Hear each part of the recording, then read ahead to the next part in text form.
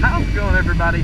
My name is Killer Turkey, and today we're going to be doing something a little bit different with this moto vlog. So today I'm going to be riding a Yamaha. So from here on out, my audio was just terrible. Like worse than it's ever been.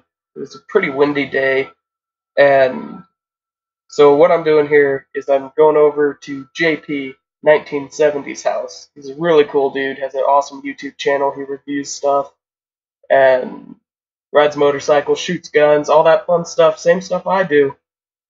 And he's really cool. I highly recommend you check him out. But I'm going to be riding his MT07. Wow. This thing, gorgeous. One down, four up. No, five up. It's a six speed. Okay. Okay. Oh wow, that's a really nice clutch.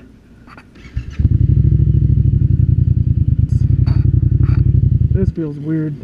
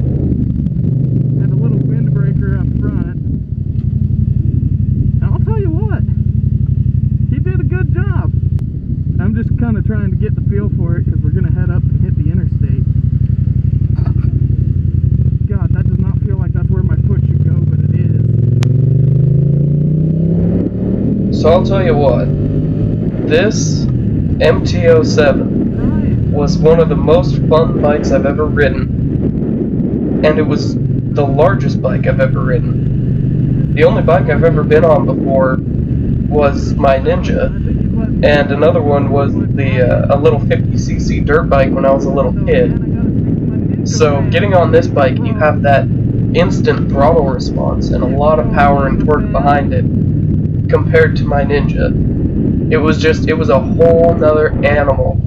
And it felt weird sitting up instead of leaning forward. I'm used to that crouched position.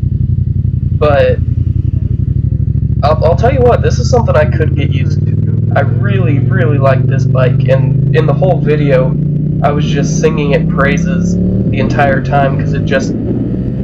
Right here, I'm saying, oh my god, 40 miles an hour, and I didn't even have to try.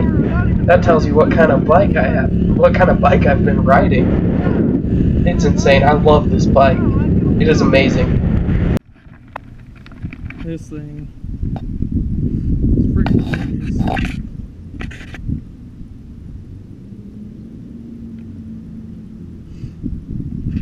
However, the wind is a whole different animal.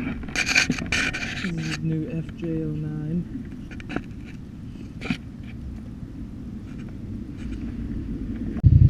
But thank you guys so much for watching this video. If you liked it, don't forget to leave a big thumbs up down below. Let me know what you want to see next. And I will see all beautiful people in the next video. Bye!